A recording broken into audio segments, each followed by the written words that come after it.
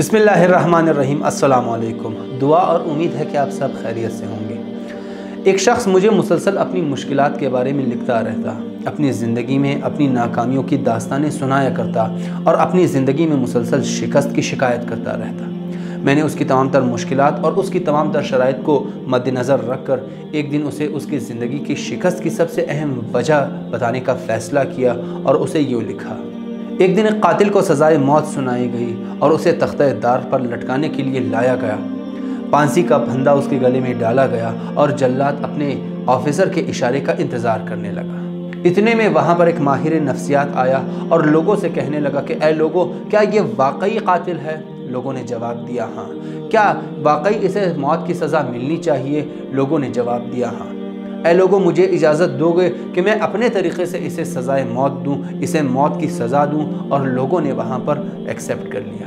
ماہر نفسیات نے اس کے گلے سے پانسی کا پندہ نکالا اور اسے کہا کہ تمہارے ہاتھوں کا رگ کاٹ کر میں تمہیں ماروں گا۔ اس کے آنکھوں پر پٹی باندھی گئی اور اسے ایک پتھر پر لیٹا دیا گیا۔ ماہر نفسیات نے ایک معمولی سا پتھر اٹھا کر اس کے رگ پر پیرا اور اس کے ہاتھوں پر ایک معمولی سا خراش آیا۔ اور کہنے لگا کہ فوراً کچھ لے آؤ تاکہ اس کے ہاتھوں کا خون جمع کیا جا سکے۔ اس قاتل کو یقین ہو گیا کہ میرے ہاتھوں کا رگ کاٹ دیا گیا ہے اور میرے ہاتھوں سے شدید خون بہ رہا ہے۔ ماہر نفسیات نے اس کے ہاتھوں پر پانی کی کچھ قطرے ڈالے تاکہ اس کے یقین میں اضافہ ہو جائے اور دیکھتے ہی دیکھتے وہ قاتل مر گیا جب لوگوں نے اس کے موت کی وجہ پوچھی، ماہر نفسیات نے کہا کہ اس کی موت کی وجہ اس کا یقین تھا۔ اسے یقین ہو گیا تھا کہ اس کا ہاتھ کٹ گیا ہے اور اس کے ہاتھوں سے خون بہ رہا ہے اور اس یقین کے نتیجے میں وہ مر گیا۔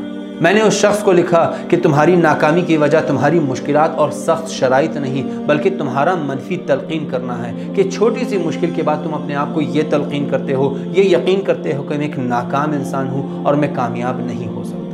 چند دنوں کے بعد اس نے مجھے رپلائی کیا اور اس بات کی تصدیق کی کہ ہاں میں بالکل اسی طرح ہوں۔ میں چھوٹی چھوٹی مشکلات کو دوستوں کے ساتھ بڑا کر کے بیان کرتا ہوں اور اس کے نتیجے میں مجھے اپنی ناکامی پر یقین ہو جاتا ہے۔ اس نے یہ وعدہ کیا کہ آئندہ اپنے آپ کو مثبت تلقین کیا کروں گا اور منفی تلقین کے زہر کو پینے سے پرہیز کروں گا۔